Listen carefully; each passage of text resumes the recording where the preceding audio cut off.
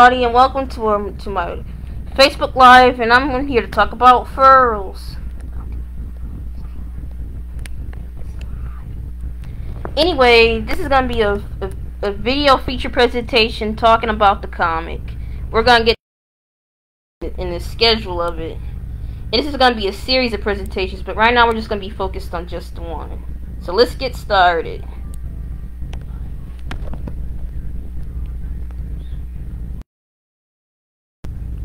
So, what's a morpher? Also, what's the matter, Wilder? A morpher is a creature that evolved to anthropomorphic form, rather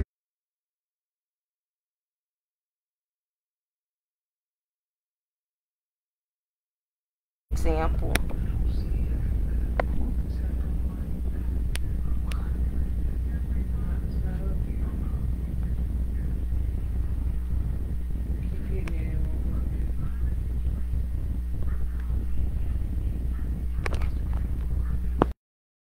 On for a minute. We're having a little bit of complications on on the end.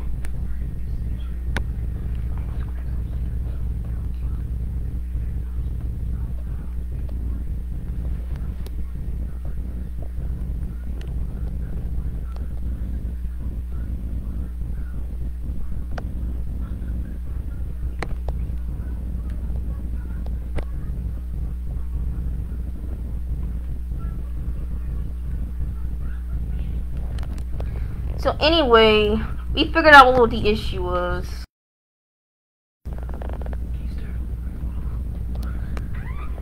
So anyway, let's let's start this over because we had a little bit of complications from the beginning.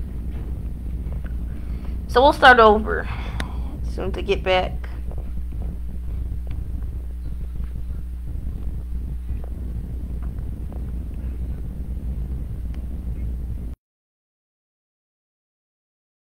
I just need to get back to to my presentation, which is obviously I'm trying to see how to get back there right now.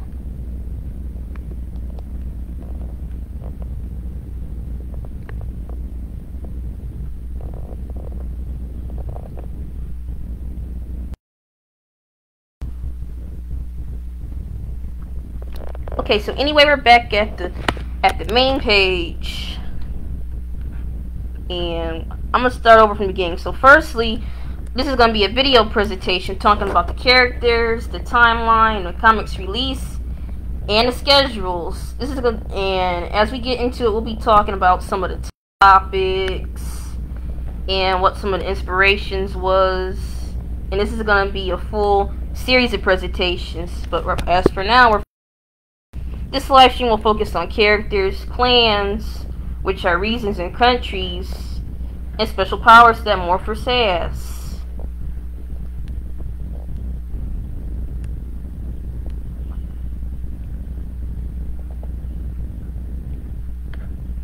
So let's go. What's a morpher? Also, what's the matter, Wilder? A morpher is a creature that evolved to anthropomorphic form. Rather, if it was mentally, physically merged with magic or a hybrid. Here's an example. In a way, you can also think of a Pokemon as an example.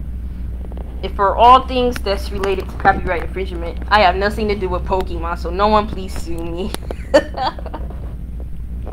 so this is an example. Anthros are, are creatures that have human-like body, hair, and hands, and also feet. They might or might not have a tail, but it varies. A Fera is an animal that has a unique brain capacity, a high IQ and can talk like a person, while a hybrid is more animal-like. They can have no hair or hair unless they're a bird or a horse. They also got paws or hoofs for hands and feet, or wings depending on if they're a bird or not. And also a tail. And a primal is a dinosaur, while a mystical can be any kind of anthro or hybrid with wings, horns, anything that just looks majestic or myth mythological. So this is the main premise of everything. Any more questions, Anon slash audience? Hold up though, what's the matter, Wilder? A matter wielder, or abbreviated MW, is a superpower, ability, or magic a morpher has, based on an element, MW, that are classified as magic. This includes transformation, shape-shifting, and healing. So according to the description of the Facebook page and group slash amino explains the comic is centered around three main OCs who escaped from a lab. Yes, they escaped from a lab called Cypher Labs. Also, it's a cat, pig, and rabbit named Kokoro, Bacon, and Damien. The three main characters are also inspired from the Chinese zodiac and how these is actually a there is actually a pig, cat, and rabbit. There's also actually more than the three of them, which we will cover in the character section. There's actually several characters I never got to finish, but since this is a demo real live stream, I won't include every OC until I release, release the website in August. I'm starting to understand somewhat. So now, what's the sun boulder that I've been hearing about lately? A clan. Each clan has a list of rules they go by called the clan conduct, since government's been defunct by the apocalypse. Wait, what the heck? Let me get this right. There was an apocalypse? Did all the humans go extinct or something? According to Morphers, it wasn't just humans in society. There was elves, fairies, dwarfs, and gnolls. But unfortunately, they, you know, I'm not gonna spoil it about what happened. Creators aren't supposed to do that anyway, lol. Before I get to the next subject, I will explain what a clan conduct, con conduct is.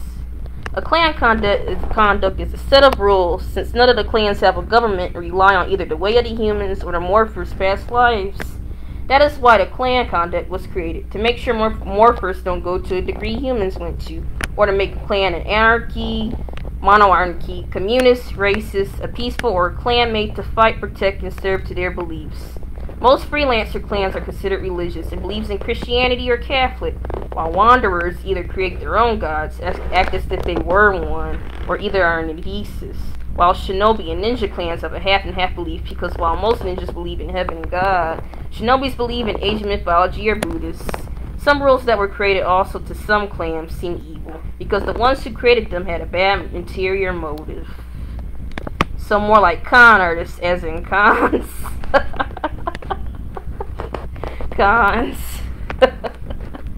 Only I do the jokes around here. Okay, okay, I'm done. Without further ado, let's get to the next subject. And yes, from here it will get edgier and darker with a side of salt. Nah, the apocalypse part was good enough for me, no salt. Yeah, that's not even the, even the worst part. Anyways, the next talk, next we're talking about clan categories. Gories, haha, see what I did there? Oh heck no. I've seen too much anime to know where this is going. Bye. She'll be back. Here we go, off to epic interesting stuff and some characters slash villains. This is the lab the animals escaped from. This is a government operated lab by the CIA to try to solve evolution in animals and to find ways to change them through experimentation. Nothing's really known much about this lab, but some theorize that some of the animals became this way because they were experimenting on them through the lab, while others believe it was some weird, strange phenomenon that there's no answer to, or some weird magic stuff. So, okay, now to the categories. A clan category is how clans are organized based on fighting skills, motives, reputation, etc. There are also rogue kingdoms outside of clans and freelancers do not qualify as clans or original clan at the moment. There's eight different categories. There's also rogues where they believe in the original way of humans, also acting just like them. Then there's packs which focus on training morphers from clans at their camps. Yaku Yakuza clans are clans that are gangsters. They're not really much of a threat as long as you don't try to mess with them. Most Yakuza clans either do a lot of criminal stuff, while others only one of them, which is known as the Draco clan, was mostly known for not doing anything really out of the box. And they normally just fight the bad guys and kill bad guys. While Wanderer, Wanderers are a medium slash light threat.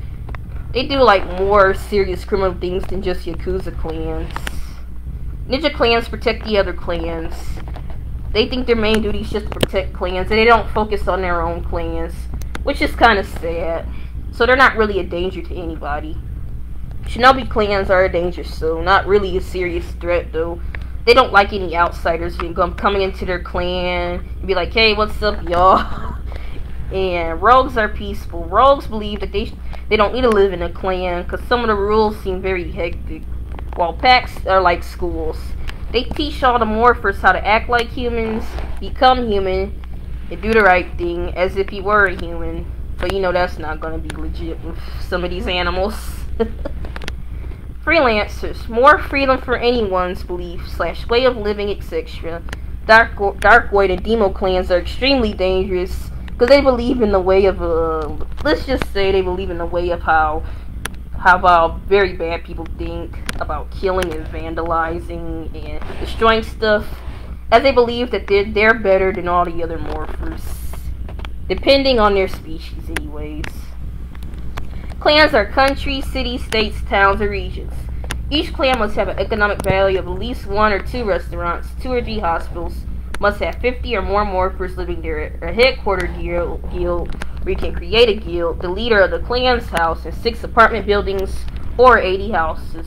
Most clans rely on guilds to survive to get a lot of money from requests, bounties, battling enemy, enemies, and traveling the world, completing missions. Clans like Wanderers only think of themselves. Most Wanderers are criminals or in the mafia business. They don't take kindly to outsiders or morphers barging in on their schemes and plans not to get poached since half of the Wanderer clans have magic matter wielders called dark matter slash Steel matter, etc. Because of their majestic powers and abilities, Yakuza clans are gangster clans. They are very hood-like or very chaotic.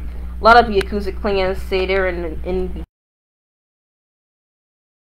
half bad stuff. The Draco clan is actually the only biker Yakuza clan. The only thing they do is vandalize, which still isn't good but better than the other clans because most are either hitman, they kill, or there's cons and gold diggers.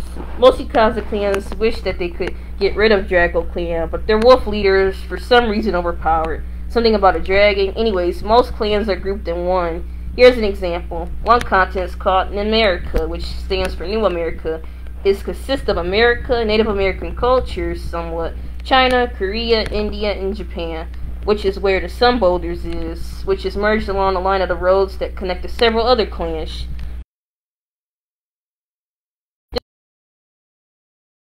In the continent doesn't mean they're united, though. The clans closest to the Sun Boulders is Wavers, Strackle Clan, and Rover Clan. There's no art for the real Rover Clan yet.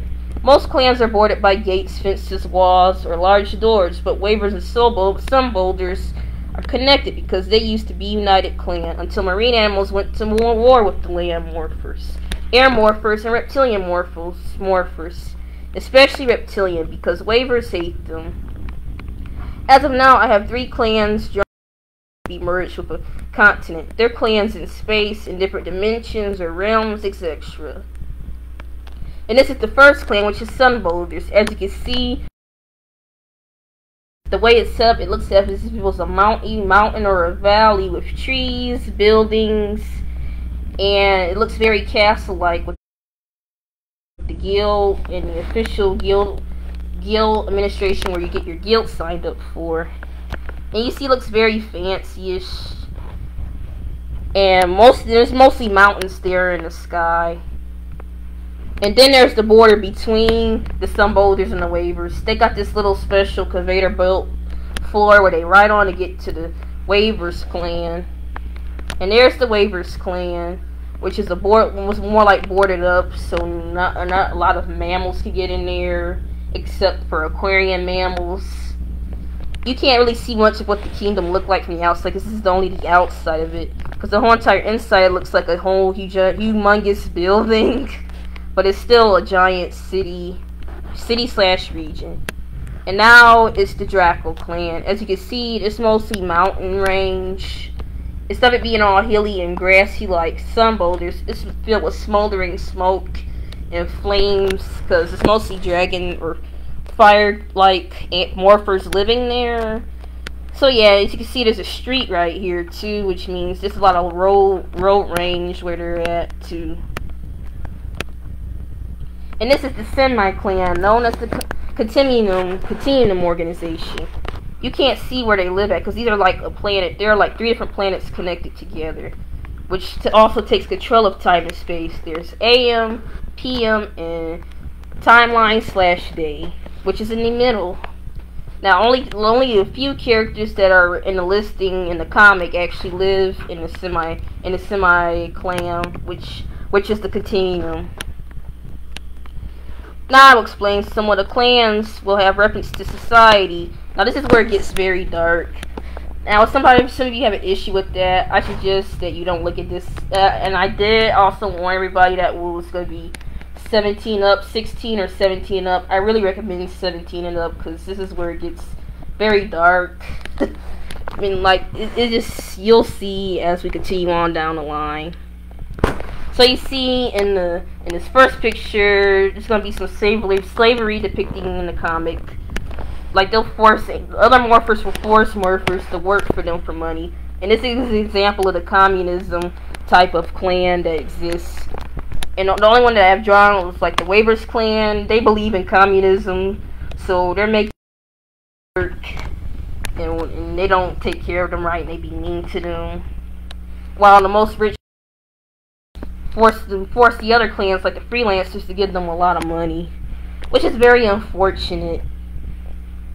And most of them, most of them would either rude and mean or abuse them. And most of the most of the animals that are looking for are the weaker kind of animals, like the ones that don't be defending themselves the most. Ice, birds, and wolves. Now some wolves do be defending themselves wolf morphers, but like the smaller wolf morphers are like the weakest ones, such as hyenas. And the next thing we'll be talking about is communism. As you can see, there's Maya and and Yigra and Willis standing there just looking like they're gonna try to eat you or something. or they look just mad at you. Anyway, in in their way of thinking, they believe that most of the morphers sh should be just dragged into there and either be, be working through slavery or not spending much money on anything or relying on an other animals for food rather than trying to go the vegan way like the like the whole rule of the other clans existed on and you can see there's like a whole list of rules that don't make any sense behind there like do not communicate with reptiles land animals etc inside a clan all animals within the clan will be indoctrin indoctrinated. yeah, and like they they don't think right, especially with Liza. She really hates reptiles and mammals. So you see, this also has something to do with racism too, which which is kind of complicated because morphers, but some of them believe that the human's way of thinking of racism is good, even though it's not, which is a, like a bad predicament. So yeah, let's get to the next part, which is, will be the characters.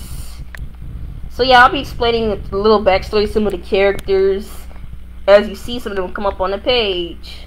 So here we go. Characters. And also, here's some little information. Not every main slash tag is on the listing here, so you know. Yes, now we're on to the characters. Every character will have a brief short information profile about them. So let's go. So the first one is Kokoro Shairo. So she was the first one to escape from the lab, along with the other animals who escaped. She was the one that was trying to defend them, since there was actually some. There's also these zombie-like animal creatures that exist in their world that that came also after the apocalypse, but I wasn't able to draw them in enough time.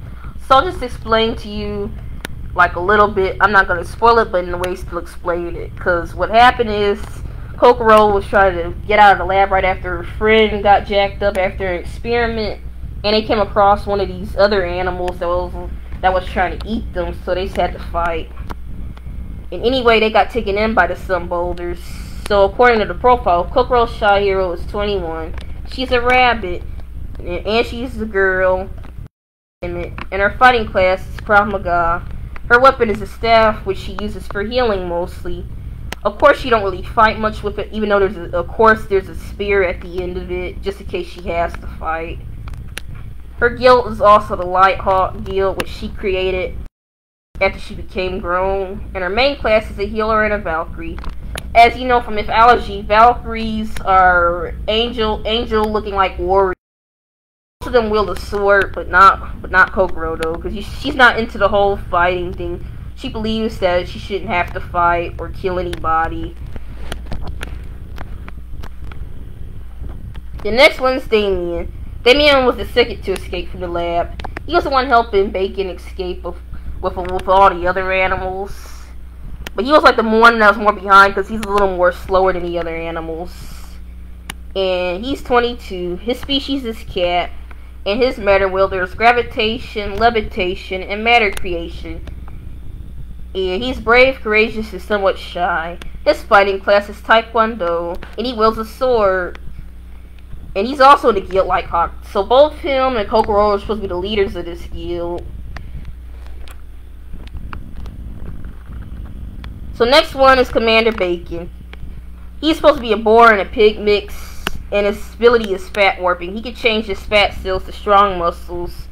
So yeah, this is technically not his true imagery. his real image is supposed to be, he's supposed to be like fat or something. But like I didn't get to drawing that one yet, so let's keep on continuing. His fighting class is Brazilian Jiu-Jitsu. He's on a little weird side and a wimp, and mischievous.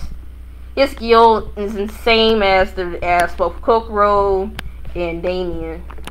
And his class is Brawler. Next one is Everett Sashi. Everett Sashi is the one who raised Bacon and Kokoro and Damien and taught them how to act human and be human. Since most most of the where they're at, there's not really any packs near their clans, so he had to teach them themselves. And he ended up in a way adopted them to and his species is a polar bear. His matter wielder is hail and ice shards. He's mostly wise, daring, and brave, and his fighting class is karate, and he, he wields a spear. He doesn't really own his own guild, but he's in a guild group called the Official Guild Administration of the Sun which helps people create their own other morphers, create their own guilds. The next one is Yasmin Smith who's 26, which is one of the other animals that was actually in the lab with Kokoro. And her matter, well, there's muscle claws. As you can see, this weird looking claws with muscles coming out of her back. And that's supposed to be like her ability. She can form crazy muscles out of her back and make sharp, sharp little claws form on the end of it. She doesn't have a fighting class, unfortunately, though. Her personality is sassy and she's bad mouth if you try to talk to her, she's gonna just straight up start cussing you out. she wields a sword, and later she join, does join Lighthawk, but she actually gets kidnapped by the guild, cause in a way of getting arrested for trespassing on the clan. The next one is Comic Drazo, who's 21 and male. He's the, the one who's in charge of the Draco clan, his personality is mischief, punk-like, and, and, kind of a charmer. In his mouth, matter wielder is flame torch. He can blow fire out of his mouth, and the flame can go so deep as to his lungs and stomach. He can hold fire in his stomach and lungs for approximately 30 minutes to an hour before it can kind of unfortunately burn him from the inside, which is why it's best not for him to hold any kind of fire in his body. and his guild is Fire Fang. The next one is Yigra Yakuzo. Who's a snake?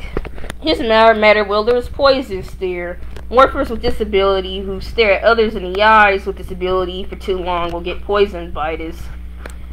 And his personality is villainous, mischief, and toxic, and just really mean. He's the one who's the leader of the Waivers clan, and he wields a spear, although you don't see him with a spear, though. The next one is Shadow Custodia. Shadow is supposed to be one of one of Everett's adopted sons. He really, he kind of really hates Kokoro Damien because it's like after they got into Everett's life, it kind of just they kind of just started ignoring him. His species is wolf. His matter wielder is Shadow Grave. A morpher with disability can be beat, attack other morphers in the dark or shade, or sit in their shadow to fight for them can also make themselves invisible. This personality is evil, envious, and sinister. His fighting class is boxing, which Everett taught him, which is kind of unfortunate because he had to become evil. His weapon is, is, a small sword, and he used to belong to Sun Bolters, but he created his own clan called the Shadow Shifter. It's not really confirmed what his guild is, though. Next one is Steed Huffington, who's 17. Her matter is future sight slash past sight. She can see the future and past. Her personality is kind and timid, and her fighting class is Muay Thai. She wields a gun cannon on her hoof, and she belongs to the semi-clan Continuum organization. In a later chapter, she does join along with the other rest of the gang of Lighthawk, but we'll get to that a little bit later in another presentation. and actually, there was somebody else who actually created Steed that wasn't me. And I'd like to give a big shout out to to one of the people that's watching, Irene, because she's the Miss Irene, because she's the one who created Steed and another character that I'm about to show you guys. This is Bacon Claws. He's 24 and and he's a resized, so he can become a giant, which is his matter wielder. Personality is brave, and sometimes he can get a little bit nervous, but he's mostly a brave, a brave character. His fighting class is boxing. He doesn't wield any weapon, although he can use his claws to fight sometimes. He's also in a semi-clan continuum organization. He also joins the Lighthawk later. And actually, they had to escape from the continuum, but like I'm like I was saying, I'm not gonna reveal too much about why. Next one is Weliza Walls, who's 34, which is a whale.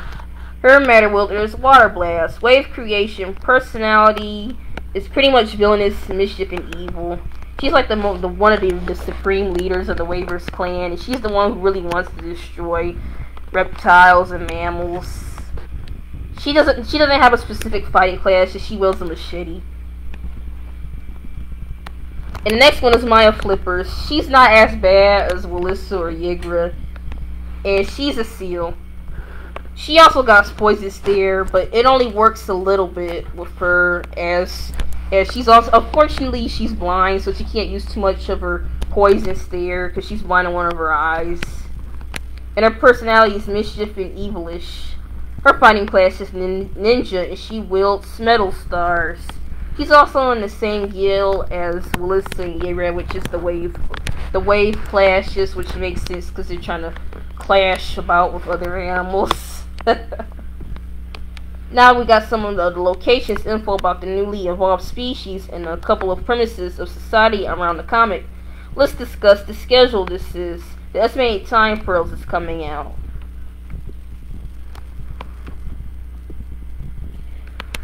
Of course, it's going to be later in the year since I'm going to college soon, so I'm thinking I'll be working on more of the comic later. So it's gonna be coming out Christmas on the 25th on the 25th in December on Christmas in 2024. I think I should make this a little Christmas treat for you guys because this is also gonna be my first time making a comic too, which has me really excited. And instead of being on just like on straight up webtoon, I'm also gonna have it on Weebly on my own Weebly website, of course, which I'll be releasing in August. Now, I also like to thank everybody for my 101, 101 subscribers, which is an amazing goal of accomplishment. Shout out to all of you guys. And thank you so much for watching. And as we're going out, I'd like to thank you all for watching and have a blessed day. So, see ya.